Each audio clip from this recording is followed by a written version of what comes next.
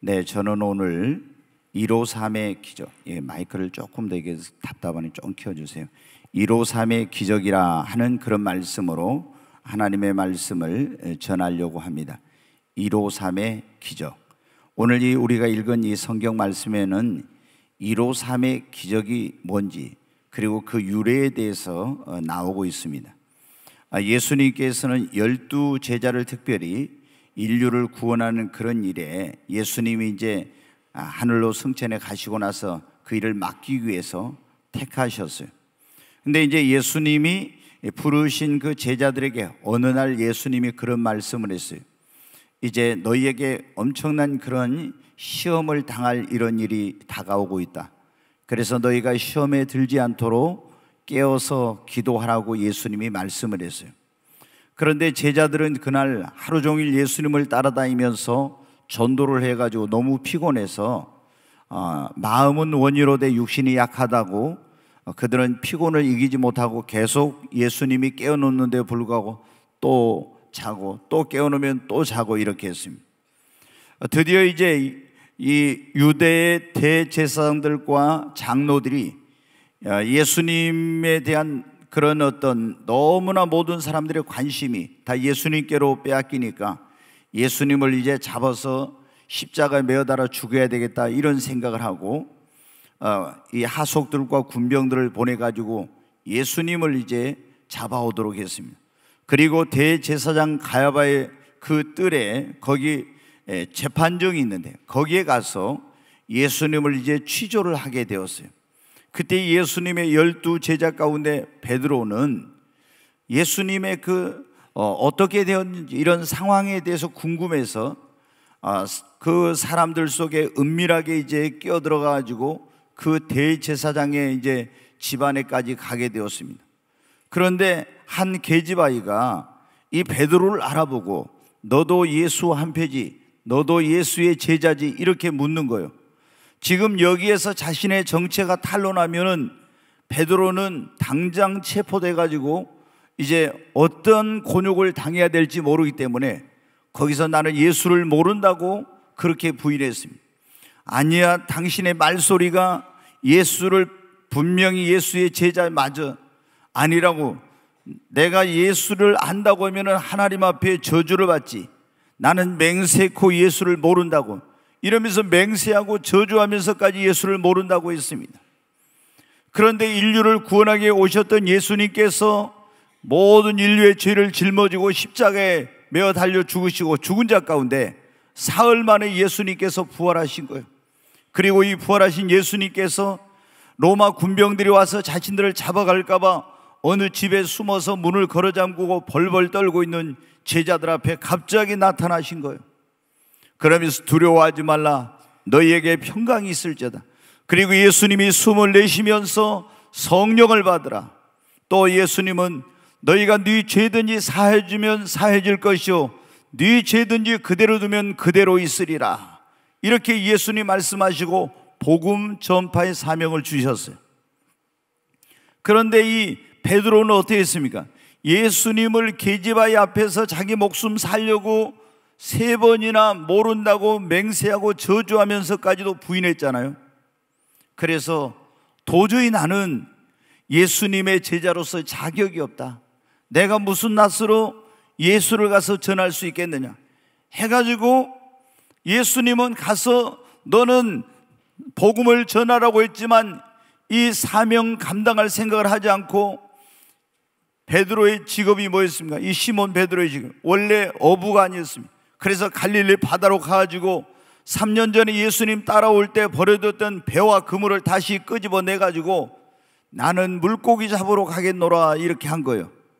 그러니까 그 곁에 있던 여섯 명의 다른 제자들도 우리도 함께 가겠다고.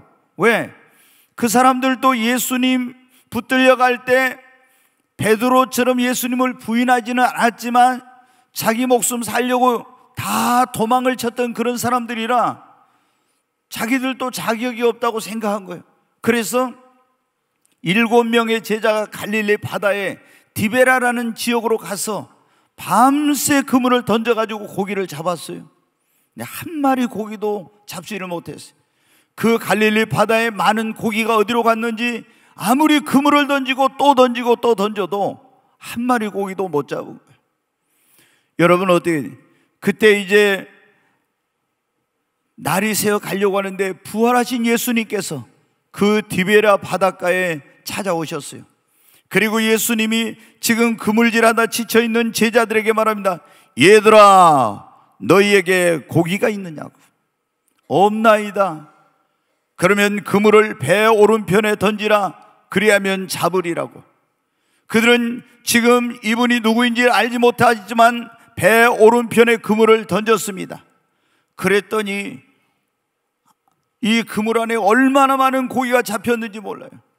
그런데 이제 점점 새벽에 날이 밝아온데 희미하게 보니까 멀리서 보니까 예수님인 거예요. 그래서 예수님의 열두 제자 가운데 가장 막내였던 요한이 주님이시다 이렇게 하니까 어떻게 베드로는 여러분 성질 급하잖아요. 이제 막 밤새 금을 던지면서 땀이 나가지고 우통 다 벗고 있었는데 주님이시란 말씀을 듣자 겉옷을 이제 걸치고는 바닷속으로 풍덩 뛰어들었어요. 그 배에서 육지까지 얼마냐면 한 90m 되는 거리인데 바다에서 잘하니까 아마 수영도 잘했던지 90m를 그냥 수영을 해가지고 어떻게 돼요? 단숨에 이제 예수님 있는 바닷가 육지로 나왔어요. 와서 보니까 어떻습니까? 예수님께서 이미 숯불을 펴놓으시고 그의 생선을 굽고 떡도 굽고 계신 거예요. 그러더니 예수님이 뭐라고 말씀? 너희가 지금 잡은 생선을 좀 가져오라고. 그래서 베드로와 제자들이 막 그물을 잡아 당겼습니다. 당겨서 보니까 거기에 엄청나게 큰 고기, 지금까지 갈릴리 바다에 이런 고기가 있었나 한 번도 보지 못한 그런 어마어마한 큰 고기가 세어보니까 153마리, 153마리, 153, 이해가 되십니까? 이해가 아직도 안 되신 분이 있는 것 같아요. 153마리, 거기에 그게 153입니다. 153마리의 큰 고기가 잡혔는데 그물이 찢어지지 아니하였더라. 여러분, 오늘 153의 기적이라는 것은 이 디베라 바닷가에서 153마리의 물고기를 잡은 이 사건 통해서 일어난 그 기적을 말하고 있는데 오늘 여러분의 사업, 여러분의 가정, 여러분의 인생에도 이런 153의 기적이 일어나기를 주님의 이름으로 축원합니다. 여러분 153의 기적이란 게 뭐냐? 단순히 물고기를 153마리 잡았다는 그런 얘기가 아닙니다. 153의 기적은 아무리 내가 예수고 노력해도 안 되었던 일이 기적같이 이루어지는 것을 153의 기적이라고 합니다. 제자들이 여러분 어떻게 돼요? 그 밤새 그물을 던지면서 거기에는 갈릴 바다에서 고기를 잡았던 베드로와 안드레와 요한과 야후보가 있었습니다. 이 사람들은 누구보다도 갈릴리 바다에서 어떻게 어디에다 그물을 던지면 고기를 잡을 수 있는지 아는 사람들이었어요.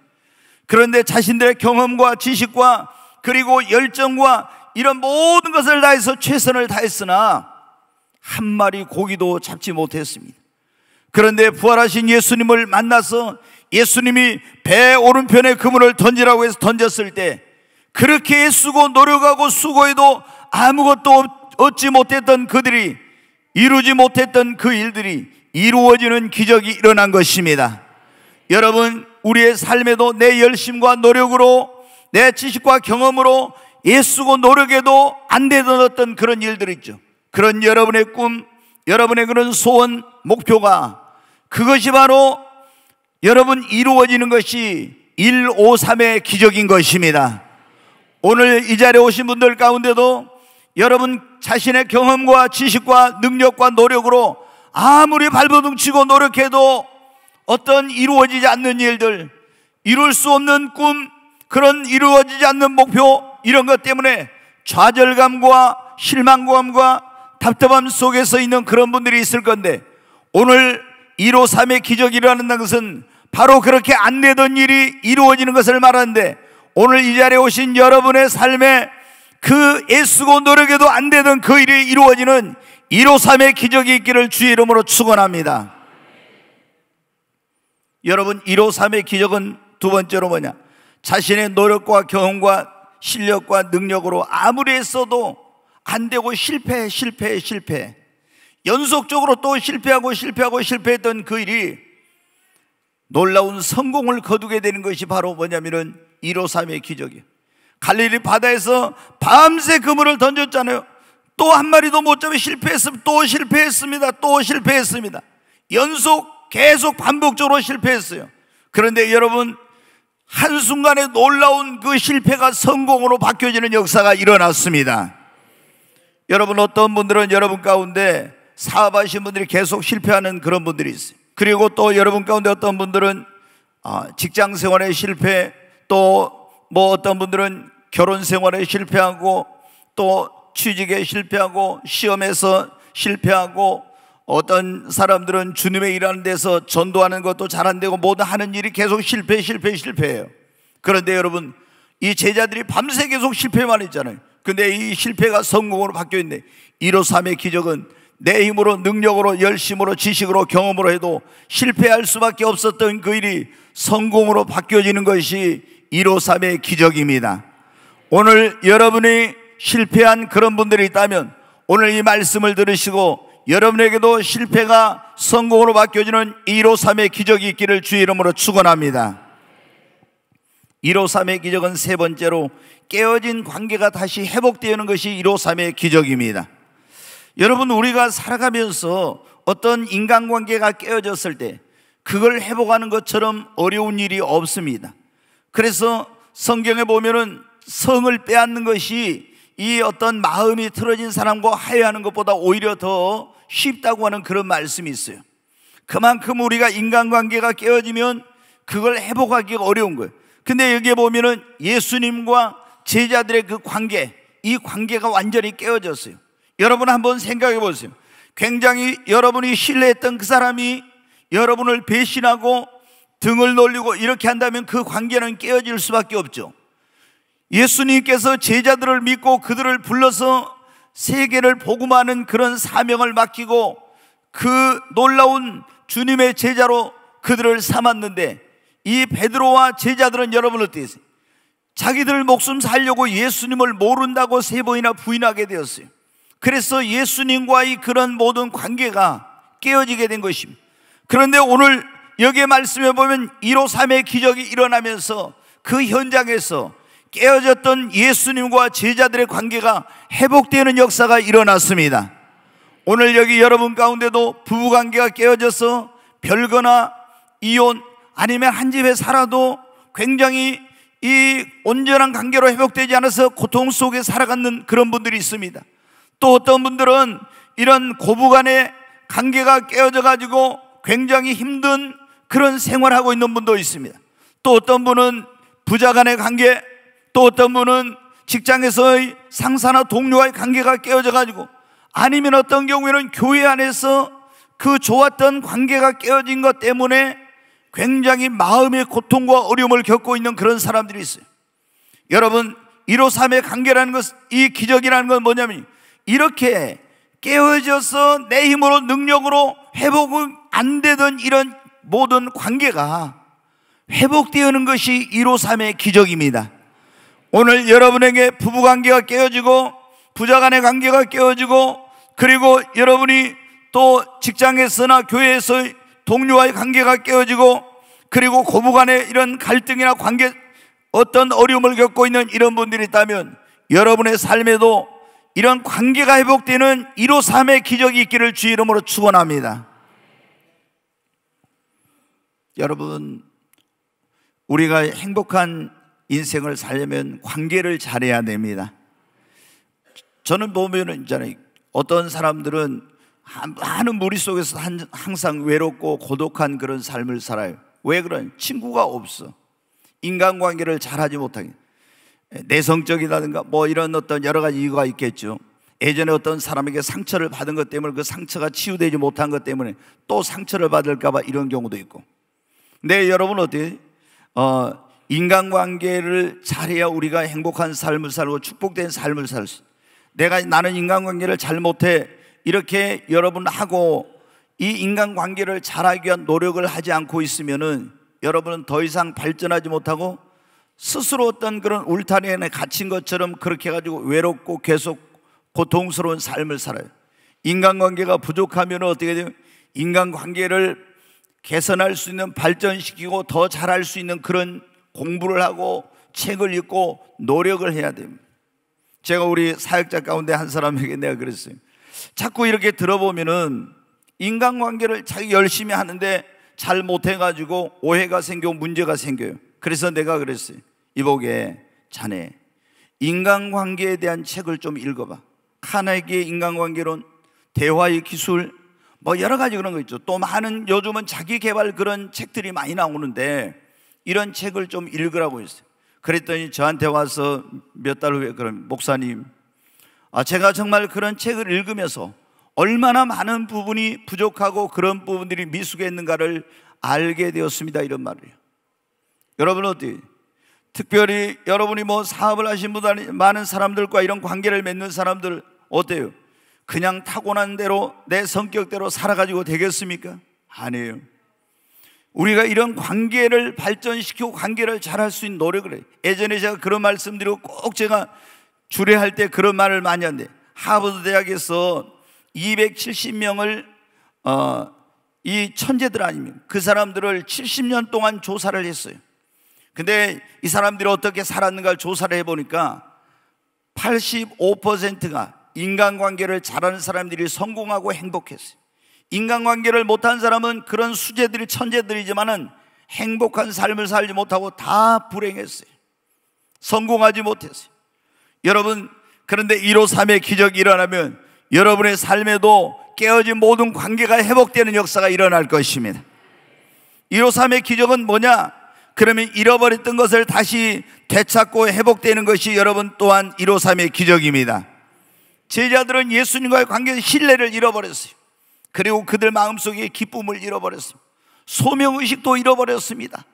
그런데 예수님 1호 3의 기적이라는 그 자리에서 예수님과 이렇게 만나가지고? 다시 신뢰를 회복하고 기쁨을 다시 되찾게 되고 다시 소명을 회복하게 되었어요.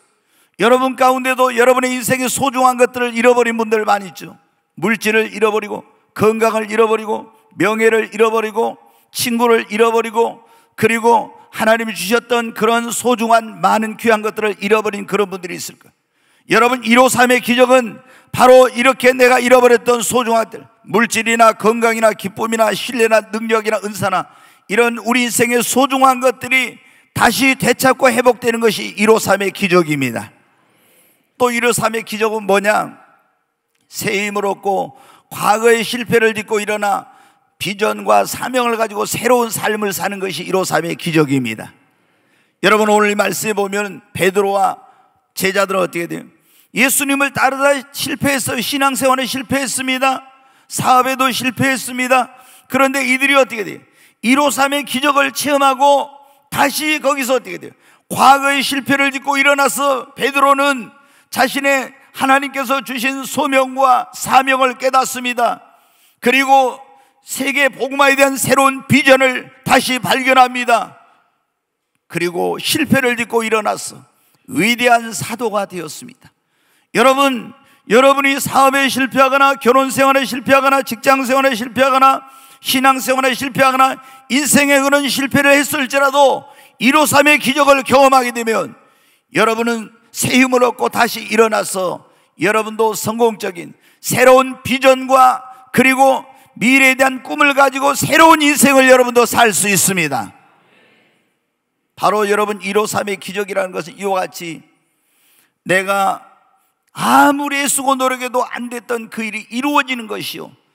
계속해서 연속적으로 반복적으로 실패하고 또 실패했던 그것이 성공으로 바뀌어지는 것이며 깨어진 관계가 회복되고 그리고 잃어버렸던 것을 다시 되찾고 회복하고 그리고 실패했던 사람이 그 실패를 딛고 일어나서 새로운 비전과 사명과 꿈을 가지고 새로운 인생을 사는 것이 1호 3의 기적인데 오늘 이 디베라 바닷가에서 일어났던 이 1호 3의 기적이 오늘 이 자리 꿈에 겨우신 여러분에게도 있기를 주님의 이름으로 축원합니다.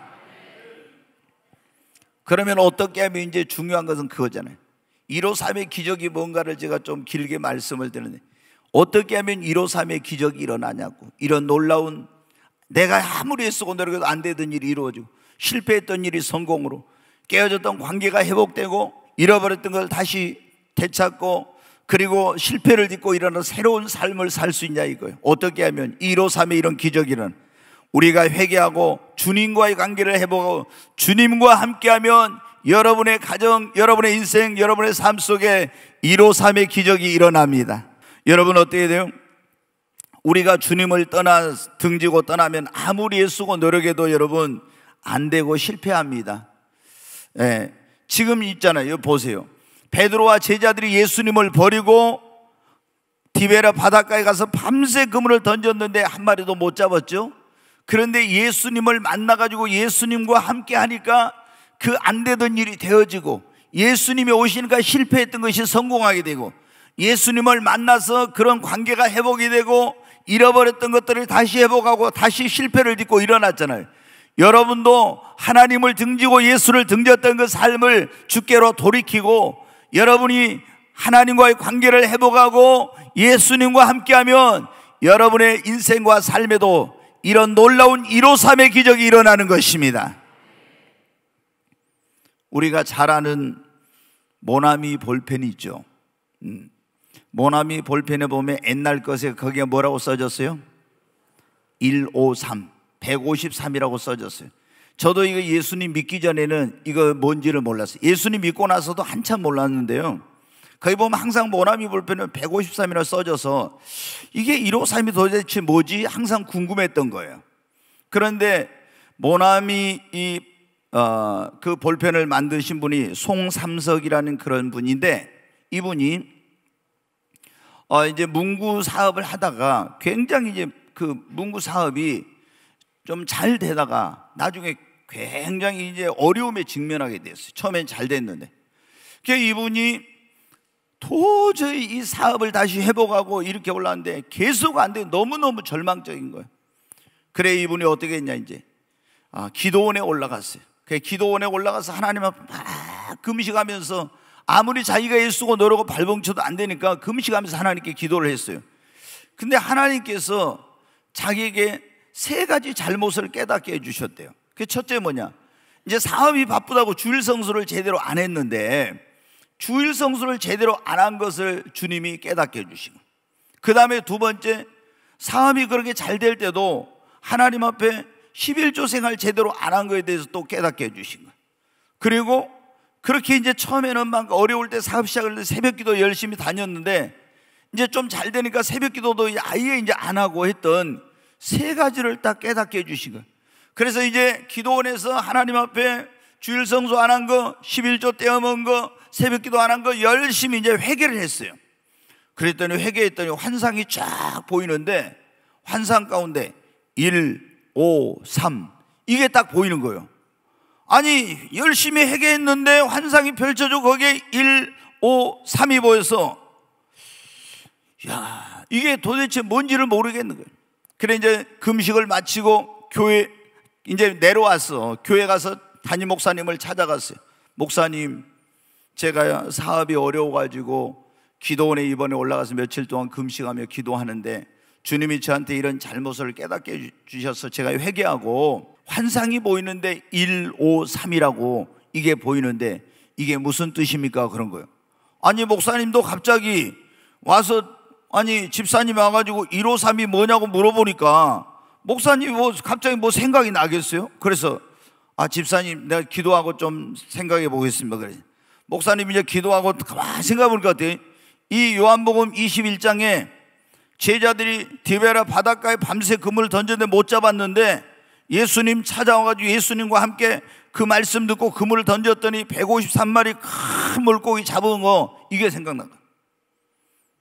집사님 빨리 와보라고.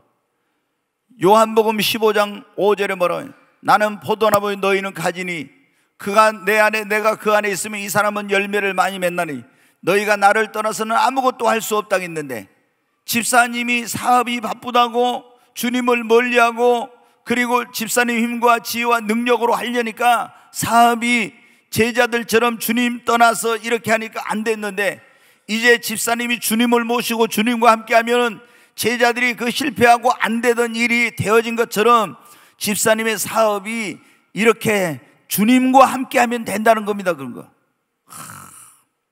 그래서 이제 내가 이제는 사업을 내 힘으로 내 지혜로 내 능력으로 하지 않고 주님을 모시고 해야 되겠구나. 이렇게 이제 결심을 했어요. 그리고 하나님 앞에 다시 사업의 길을 열어달라고 내가 이제는 주님과 함께 이 사업을 하겠습니다. 근데 일본에서 무슨 문구류 전시회가 열린다는 거예요. 거기를 갔어요. 거기 갔더니 보니까 일본에 이제 뭐가 나왔냐면 볼펜이란 것이 처음 나온 거예요. 그때는 여러분은 옛날에는 그랬죠. 전부 그냥 펜으로 잉크 찍어가지고 쓰거나 만년필 같은 거 이런 게 펜으로 쓰거나 할 때인데 볼펜이 없을 때인데 보니까 신제품이 나온 거예요. 발명품이. 볼펜을 쓰는데 보니까 너무 신기한 거예요. 근데 여러분 어때요? 그런 신발명품이 나오면 이거는 특허를 내고 또 영업 비밀이기 때문에 누가 안 가르쳐 주죠. 그래서 이분이 와가지고 야 저걸 만들면 좋겠다 기도하면서 하나님께 지혜를 구해가지고 계속 몇 번이나 실패하고 또 실패했지만 드디어 1963년 5월 1일 날 모나미 볼펜이 나온 거예요. 모나미란 말이 뭐냐면 불어인데 나의 친구 그런 뜻이에요. 예. 이 나의 친구 거기다가 뭐라면 모나미 볼펜이나 하면서 153. 아, 주님과 함께 하면은 153의 기적이 나의 사업에도 나의 삶에 내 인생에도 일어난다는 걸 잊지 않으려고 153을 거기다 기록해 놓은 거예요. 그리고 얼마나 그때부터 이 사업이 잘 돼가지고 전 세계로 모나미 볼펜을 수십억 자루를 이 여러분 수출을 하고 다시 사업이 일어나는 놀라운 기적이 일어난 거야. 언제 그래요? 아무리 자기 힘으로 능력으로 자기 노력으로 열심으로 하려고 해도 주님 떠나서는 안 되었는데 주님께 회개하고 돌아와서 주님을 가까이 하고 주님 모시고 하니까 놀라운 1호 3의 기적이 일어난 거예요. 여러분, 우리가 예수님을 떠나서는 아무것도 할 수 없어요. 나는 예수님이 그래 포도나무에 너희는 가지니 가지가 포도나무를 떠나서 뭘 꽃을 피울 수 있어요? 열매를 뭘 할 수 있습니까? 아무것도 못해. 그래서 예수님이 너희는 나를 떠나서는 아무것도 할 수 없다고. 제자들이 예수님을 떠나가지고 자기들 경험으로 지혜로 능력으로 하려면 됩니까? 아, 자기들이 그래도 갈릴리 바다에서 수십 년 동안 고기잡이 했다고 우리가 노력하면 경험이 있으니까 지식이 있으니까 될 거라고 안 되었어요. 그런데 여러분 예수님을 모시고 하니까 여러분 안 되던 일이 되고 실패했던 일이 성공하게 된 것입니다. 언제 153의 기적이 일어나냐? 이렇게 회개하고 주님과의 관계를 회복하고 주님과 함께하면 153의 기적이 일어납니다. 두 번째로 언제 153의 기적이라면 교회 생활을 회복하면 153의 기적이 일어납니다. 여러분 우리가 교회는 축복의 전당입니다. 하나님 아버지의 집이고 이건 교회는 그리스도의 몸입니다. 그래서 성도들은 물고기가 물을 떠나서 살 수 없는 것처럼 교회를 떠나서는 살 수 없어요. 이 교회가 구원의 또 방주라고 했잖아요. 그래서 하나님이 우리에게 복을 주실 때는 뭐를 통해서 복을 주시냐면 교회를 통해서 주시고 하나님 우리에게 힘을 주실 때는 뭐를 통해서 교회를 통해서 힘을 주시고 우리의 삶과 가정과 이런 모든 걸 회복시킬 때도 교회를 통해서 하나님이 은혜를 주셔서 회복을 시켜 주십니다. 근데 성도들이 교회를 멀려고 교회 생활을 제대로 안 하면 여러분 어때요? 이런 아무리 내가 애쓰고 교회를 나와서 하나님 앞에 예배를 드리고 교회를 나와서 은혜를 받고 교회를 나와서 하나님의 말씀을 듣고 이러면서 하나님의 그런 영감과 지혜를 받아야 되는데 교회를 떠나가지고 내 힘으로 내 능력으로 내 경험으로 지식으로 아무리 애쓰고 노력해도 안 돼요 여러분. 아무리 내가 계속 실패하고 이렇게 되는 거예요 우리가 그런데 성경에 보면 어떻게 실패했던 사람이 다시 교회 생활을 해보가면 놀라운 하나님께서 안 되던 일이 되어지고 실패했던 삶이 성공으로 그리고 불행했던 삶이 축복된 삶으로 바뀌어지고 깨어진 관계가 회복되고 잃어버린 것들이 회복되는 놀라운 역사가 일어납니다. 예, 성경에 보면 나옴이라는 그런 여자 나오죠. 예수님 아니 이 기근이 들었을 때 모압 땅으로 갔어요. 거기는 뭐냐면은 하나님을 안 믿는 사람들이 사는 거 우상 숭배하는 오늘날 말하면 교회 다니는 사람이 세상으로 간 거예요. 어려운 일이 생겼다고 시험 들었다고 이래 가지고 그런데 거기서 자신의 노력과 열심과 이런 것으로 최선을 다했지만 어떻게 남편이 죽어요. 그리고 결혼했던 두 아들이 죽고 그래가지고 과부만 셋이 남은 도저히 못 살겠어서 이 여인이 어떻게 됩니까? 안 되겠다. 하나님 앞에 내가 죄를 지어서 징계를 받아 이렇게 됐지만 다시 돌아가야 되겠다고 유대 땅 베들레헴으로 돌아옵니다. 베들레헴은 오늘날 말하면 이스라엘의 모든 그 지형과 지명에는 다 의미가 있어요. 영적인 의미가. 근데 이 베들레헴이란 말은 떡집이라는 그런 의미예요. 그 오늘날 어디가 떡집이냐? 생명의 떡이 되신 예수님이 계신 교회가 떡집입니다.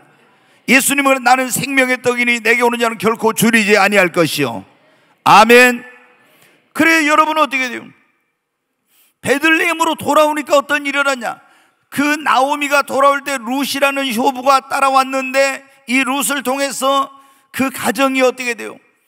대가 끊어지고 하나님 주신 그 기업을 다 잃어버리게 생겼는데 거기서 보아스를 만나 결혼해 가지고 그 가문이 다시 일어나게 되고 잃어버리게 된 기업을 되찾게 되고 잃어버렸던 기쁨을 되찾게 되고 모든 거 그렇게 모압 땅으로 가서 자신들의 경험과 지혜와 능력으로 해보려도 안 되고 실패했던 그 삶이 하나님의 그 떡집인 베들레헴으로 돌아온 다시 말해서 교회로 돌아오니까 회복의 역사, 잃어버린 것을 되찾는 역사, 애쓰고 노력해도 안 되던 일이 되어지는 역사가 일어난 것입니다. 여러분 신약 성경에도 보면은 아, 누가복음 15장에 한 아버지에게 두 아들이 있으니 이두 아들이 아버지 간섭 싫다고 했잖아요. 자기 마음대로 자기 능력으로 나 잘 살 수 있다고 해가지고 아버지 집을 떠납니다. 그런데 먼 나라로 가서 거기서 있잖아요. 완전히 실패하고 또 실패하고 실패해요. 그래가지고 어떻게 됐냐? 이제 돼지 치는 곳에 가서 거지가 돼가지고 돼지가 먹는 지엄 열매로 먹는데 그래도 배가 골아가지고 죽을 지경이에요. 그래서 이 사람이 어떻게 돼요? 자기 잘못을 깨닫고 거기 머무르지 않고 아버지께로 돌아와 아버지 집으로 그렇게 아버지 집으로 돌아오니까 모든 것이 다 다시 회복되는 역사가 일어났어요. 이 성도에게는 아버지 집이 교회입니다. 어떤 경우 제가 보면서 성도한테 그래요. 뭐 어떤 이제 교회를 떠나 주님 떠나 가지고 사업에 실패하고 가정 생활에 문제 막 여러 가지 어려움이 있으면은 신방을 해 가지고 빨리 교회 나와요. 그러면 어때요? 목사님 내가 이 모습으로 어떻게 교회 갑니까? 여러분 그 모습으로 나올 때 회복이 됩니다. 회복이 돼가지고 올라면 절대 안 돼. 주님 앞에 돌아오면은 안 되던 일이 되어지고 실패했던 일이 성공으로 불행이 행복으로 그리고 잃어버렸던 것들이 다시 회복되고 깨어진 관계가 회복되고 다시 실패했어도 하나님은 일어날 수 있도록 새 힘을 주시고 새로운 꿈과 비전을 주십니다. 오늘 153의 기적이란 그런 말씀을 듣고 있는데 언제 153의 기적이 일어났냐면은 기도하면 153의 기적이 일어납니다. 네, 한번 우리 다시 한번 같이 하죠. 기도하면 153의 기적이 일어납니다. 네, 여러분 우리의 인생에 많은 사람들이 보면 있잖아요. 뭘 할 때 기도를 안 하고 있잖아요. 자기의 힘과 노력과 경험과 지식과 이런 것으로만 가지고 하려고 하니까 여러분이 원하는 게 안 되는 거예요. 그리고 실패할 수밖에 없는 제자들이 여기 지금 왜 실패했어요? 아 예수님이 없었기도 하지만 또 뭐를 안 했어요? 기도하지 않고 계속 자기들의 경험이나 지식이나 노력이나 열심이나 이런 것으로만 하려고 하니까 돼요? 절대 안 돼요. 계속 실패하는 거예요. 어, 여러분 오늘날도 얼마나 많은 성도들이 그런 분들이 많은데 사업을 하는데 여러분? 안 돼. 왜? 내 경험과 내 지식과 내 능력만 가지고 하니까 안 되는 거예요. 자녀 교육, 내가 여러분 세상의 어떤 자녀 교육에 대한 공부하고 그런 이론만 가지고 한다고 되냐? 안 됩니다. 여러분, 우리가 직장 생활도 내가 열심히 하는데 왜 안 되는가? 모든 여러분이 실패의 원인은 대부분의 경우 뭐냐면 기도하지 않고 우리가 자신의 힘과 능력과 노력과 경험과 이런 것만 가지고 하려고 하니까 안 되는 거예요. 여러분, 우리는 할 수 없지만 하나님은 다 하실 수 있습니다. 우리가 안 되는 거 하나님 앞에 기도하여 하나님이 도와주시면 안 되던 일이 됩니다. 내가 아무리 애쓰고 노력해도 실패했던 일이 하나님이 기도하면 도와주시면 성공할 수 있습니다. 여러분 보세요. 깨어진 관계 아무리 회복하려고 해도 안 돼. 성경에 그렇잖아요. 이게 이 깨어진 관계를 회복하는 것은 정말 어려운 거예요. 아무리 어떤 사람은 부부간에 한번 금이 간 깨진 관계가 회복이 안 돼. 또 고부간의 관계, 아니면 부모와 자식의 관계, 어떤 사람과의 관계가 깨어져 가지고 회복이 안 돼. 아무리 이렇게 하고 저렇게 하고 별별해도 안 돼. 그런데 하나님이 되게 하시면 돼요. 근데 하나님이 어떨 때 되게 하시나 기도하면 되게 하십니다. 성경에 보면 야곱이 형 에서하고 원수가 돼서 20년간 지내. 형의 축복을 두 번이나 속여가지고 가로챘기 때문에 원수가 된 거예요. 그런데 여러분, 아무리 그 형의 마음을 물질로 풀어보고, 그 다음에 인정에, 혈육애정에 이런 것으로 호소해가지고 풀어보려고 해도 이게 안 풀리고 관계가 회복이 안 돼요. 그런데 야복강 나루트에서 하나님 앞에 간절히 밤을 새우며 부르짖고 기도했을 때 깨어진 관계가 회복되는 역사가 일어났습니다. 여러분, 우리가 이런 깨어진 관계가 어떻게 하면 회복될 수 있어요? 기도하면 회복됩니다. 잃어버린 여러분의 건강도, 물질도, 명예도, 기쁨도, 능력도, 은사도 여러분의 인생의 소중한 걸 잃어버렸는데 다시는 내가 이 물질을 회복할 길이 없고 건강이 지금 중환병을 회복할 길이 안 보이고 내가 지금 잃어버린 걸 다시 회복할 길이 안 보이는데 기도하면 여러분의 회복되는 역사가 일어납니다. 기도하면. 그리고 내가 실패해가지고 나는 이제 인생의 실패자. 다시 일어날 수 없다고요? 기도하면 하나님이 여러분의 일어날 수 있는 힘을 주세요. 기도하면 여러분에게 하나님께서 새로운 꿈과 비전을 주십니다. 그래서 내가 내 힘으로 능력으로 안 되던 일, 실패했던 일, 그 깨어진 관계 회복, 잃어버린 걸 되찾는 거, 그리고 실패를 딛고 일어나는 새로운 삶을 사는 거, 내 힘으로 능력으로 안 되지만은 여러분 기도하면 베드로가 실패를 딛고 일어나 예수님의 수제자가 된 것처럼 기도하면 여러분 우리도 153의 기적을 경험할 수 있습니다. 언제 153의 기적이 일어나? 오늘 여기 보니까 그랬잖아요. 밤새 그물을 던져 고기를 잡는 한 마리도 못 잡았단 말이에요. 근데 예수님께서 그렇게 말씀하셨어. 얘들아, 너희에게 고기가 있느냐? 없나이다. 그물을 배 오른편에 던지라. 그리하면 잡으리라. 그들이 여러분 어떻게? 예수님의 음성을 듣고 주님의 음성을 따라서 그물을 배 오른편에 던졌을 때 153마리 153 정말 큰 고기를 그물 가득이 찰 만큼 잡았습니다. 어떻게 주님의 음성을 듣고 했을 때 여러분이 어떤 내가 아무리 애쓰고 노력해도 안 되던 일이 이루어지려면 계속 반복된 실패 가운데서 있던 것이 성공하려면 깨어진 관계가 회복하려면 그리고 잃어버린 걸 되찾으려면 다시 일어나려면 어떻게 해야 됩니까? 하나님 앞에 간절히 기도하면서 여러분에게 들려주신 하나님의 음성, 여러분에게 주시는 하나님의 그 메시지가 있어요. 그 하나님의 음성에 하나님의 영감으로 주실 수, 꿈으로 주실 수 있고, 환상으로 주실 수도 있고, 여러 가지 방법으로 주신데, 그것을 듣고 순종하면 이런 153의 기적이 여러분에게도 일어나는 것입니다. 여러분이 뭐가 안 돼, 아무리 노력해도, 그러면 하나님 막 이거 되게 해주세요. 막 이렇게 할 뿐만 아니라, 그 되게 해달라고 할 때 하나님이 직접 하나님이 하시는 방법이 고 하나는 하나님께서 여러분의 지혜나 능력이나 도울 자를 보내거나 어떤 방법을 가르쳐 주셔가지고 대기하는 방법이 있어요. 그때 여러분 어때 우리는 기도만 무조건 하는 것이 기도하면서 나에게 들려주시는 하나님의 그 메시지, 그 음성의 그려. 그리고 그것이 내 지금 생각과 경험과 달라도 주님이 말씀한 대로 순종하면 기적은 일어납니다. 여러분 여기 지금 베드로가 디베라 바닷가에서 고기 잡는 일이 나오는데 3년 전에도 어떻게 돼요? 그 게네살의 호수라고 갈릴 바다 한편에서 그물 던지고 고기를 잡았어요. 밤새 그물을 던져 고기를 잡아 한 마리도 못 잡았습니다. 이제 아침이 돼가지고 아주 허기도지고 낙심해가지고 그물을 싣고 있는데 예수님이 오셨어요. 예수님이 뭐라고 했어요? 베드로의 배 시몬이었어요. 그때는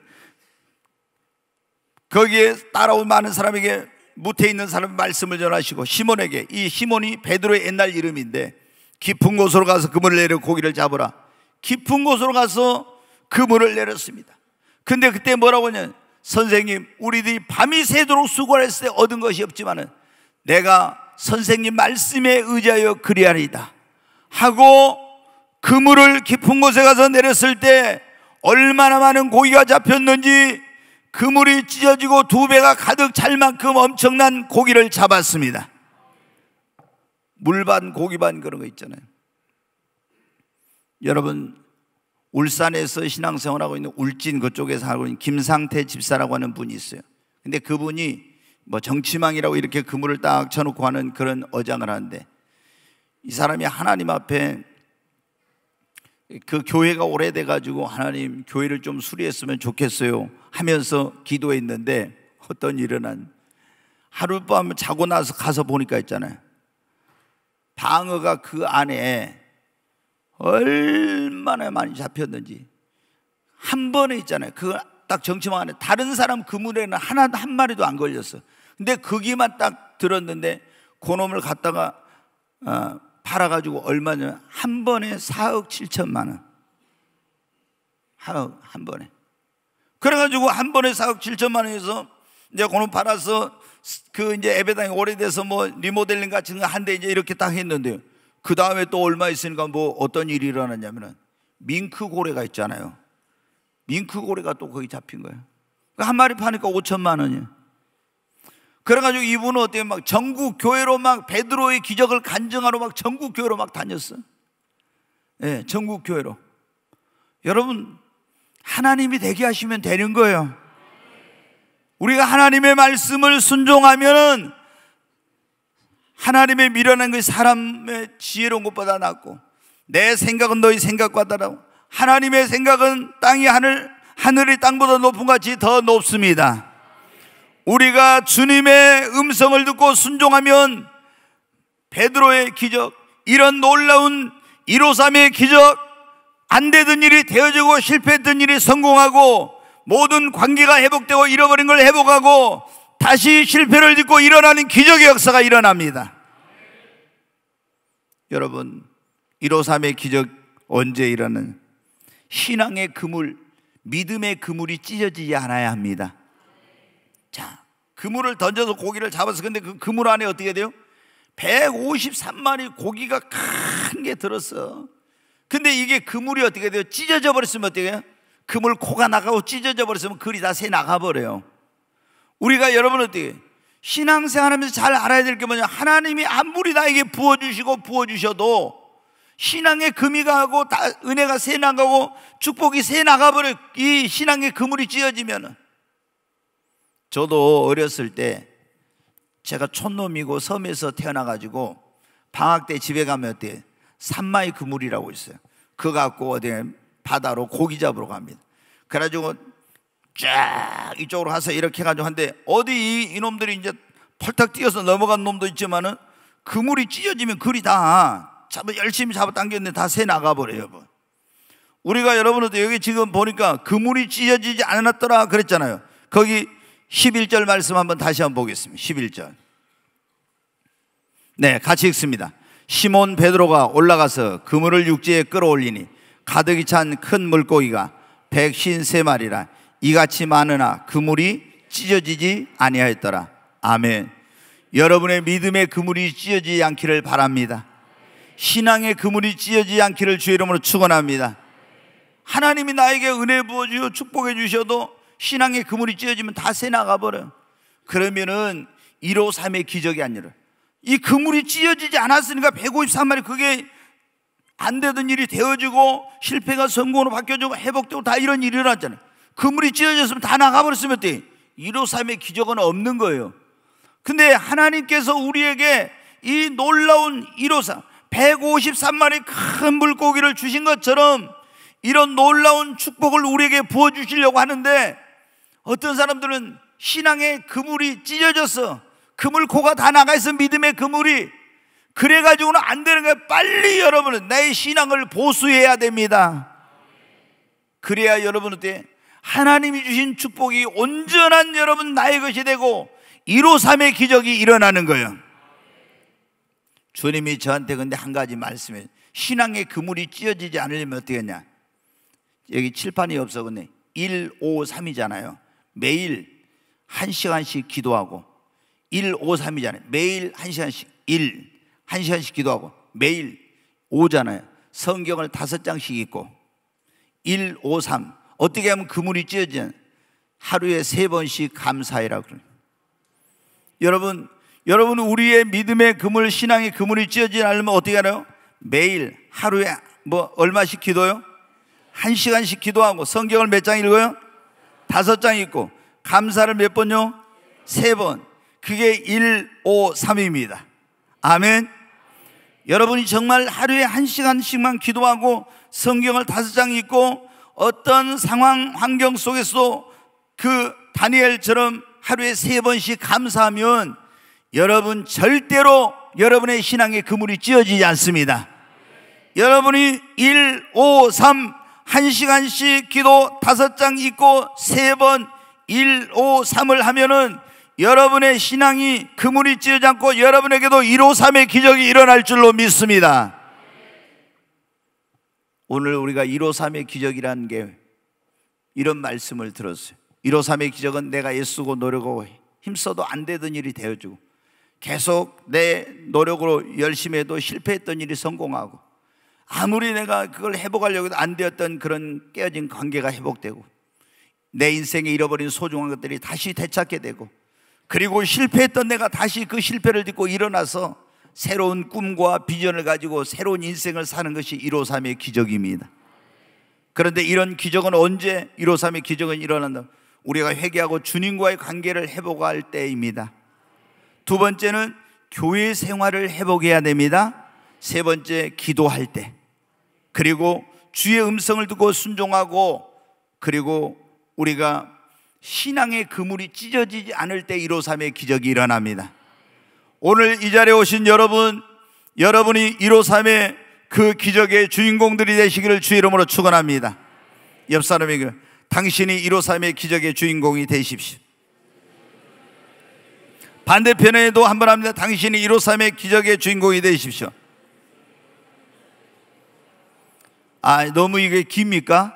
당신이 153의 기적의 주인공이 되십시오 했는데 좀 어려운 앞뒤로 한번 하겠습니다. 당신이 153의 기적의 주인공이 되십시오. 아멘. 네. 정말 여러분, 우리 모든 오늘 이 자리에 오신 분들 안 되던 일이 다 되기를 바랍니다. 이제 실패했던 일이 성공하게 되기를 바랍니다. 관계가 회복되고 잃어버린 것들이 다 되찾게 되기를 바랍니다. 그리고 여러분 실패했어도 그 실패를 딛고 넘어서 일어나서 정말 이제 새로운 꿈과 비전을 가지고 새로운 놀라운 삶을 살게 되시기를 주의 이름으로 축원합니다.